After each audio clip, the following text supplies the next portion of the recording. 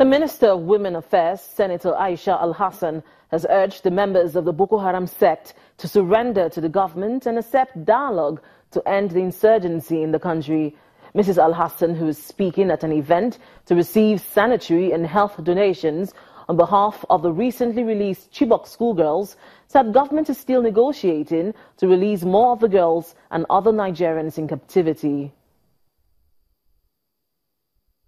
We are hopeful just like we got the two uh, fruits of the negotiations, bringing, bringing back 21st, uh, 21 girls first, and uh, later 82 girls. We hope uh, from the negotiations that are still going on, the rest will be re uh, released to us very soon. And uh, using this opportunity to please call on the insurgents to please, please, please uh, not, not only negotiate in respect of the uh, Chibok girls, but to negotiate and to sit and uh, dialogue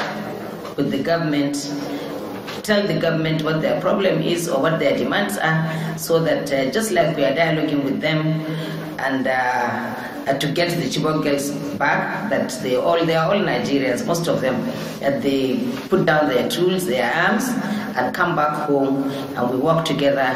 to build a greater Nigeria for all of us, them and us. We support the Chibok girls, and Canada is proud to do so through the humanitarian funding that we provide to the United Nations Population Fund, UNFPA.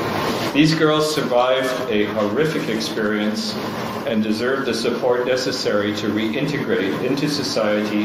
with their freedom and dignity, along with the skills and education that will give them the opportunity to thrive.